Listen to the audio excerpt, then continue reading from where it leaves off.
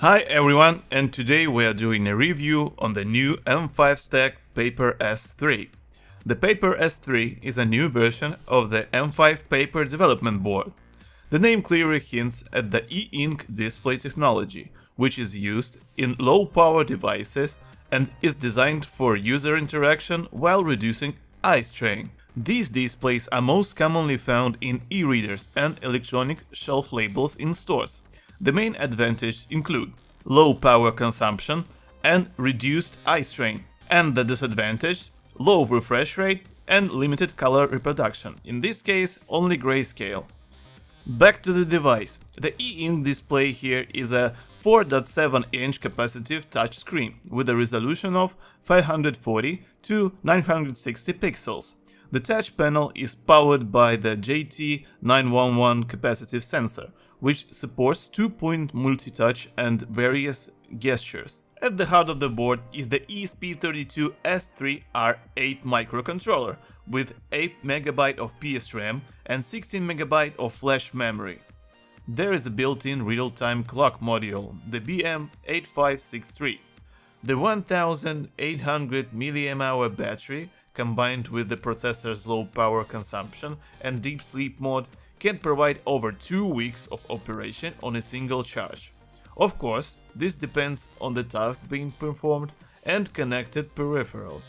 If you need to determine the device orientation, there is a BMI 270 module, an inertial sensor that includes both an accelerometer and a gyroscope. It's suitable for wearables, smartphones, sports gadgets and motion stabilization control systems.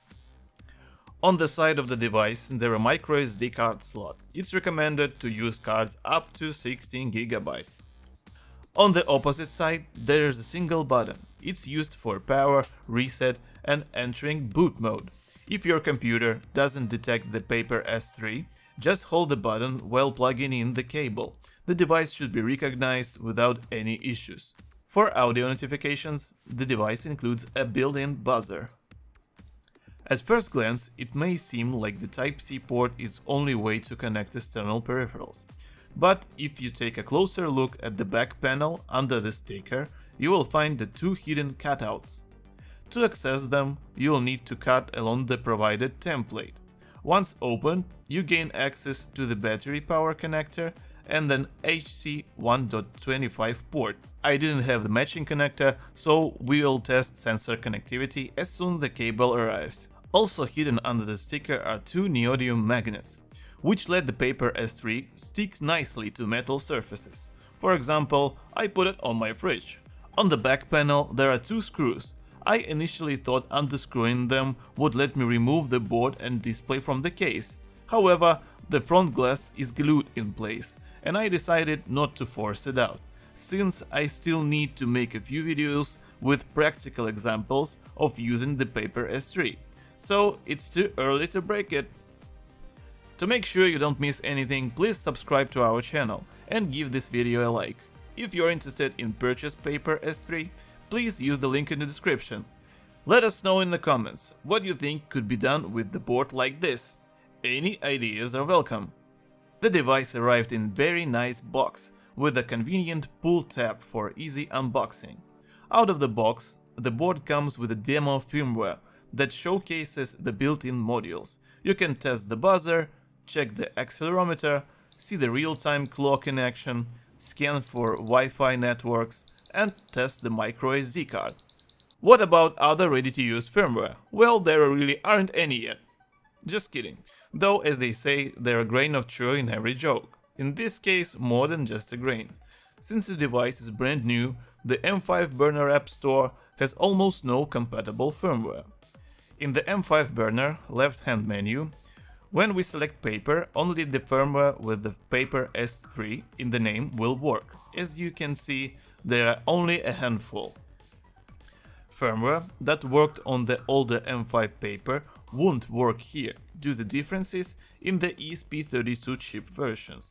For example, I immediately wanted to install an EPUB reader on my paper S3, but of course it didn't run Thankfully, the Reader project is open source, so I think I'll be able to port it soon.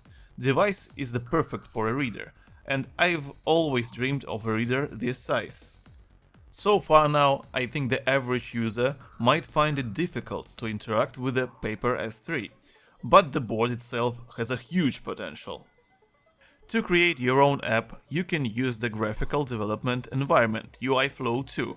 First, you need to install the UiFlow 2 application on the board via M5 Burner. To write code in Arduino IDE, you need to correctly configure the compilation settings.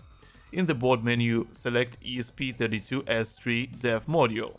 In the Tools tab, set USB CDC on boot enabled, so you can see serial messages. Set the flash size to 16 MB and set PSRAM OPI PSRAM. You also need to install the M5 Unified library and download the EPDIY library from GitHub. It's needed to control the display since the ESP32S3 drives the e-ink display panel directly, without the separate driver. For those coding with Platform.io, when creating a new project, in board menu select ESP32S3 DevKit M1 and add the provided configuration to the Platform.io ini file. I'll leave it in the description. So, what are my plans with this board? I've started working on firmware that fetches headlines from a free news API and refreshes them on the screen every hour, kind of like a real-time e-paper newspaper. When I finish, I'll make a tutorial how to build this kind of application. We'll also soon start covering smart home topics and Home Assistant. And I want to use this as a dashboard or control panel. That's it for now, this was Arthur from the Hobby Support channel. The next video is coming very soon. See you again!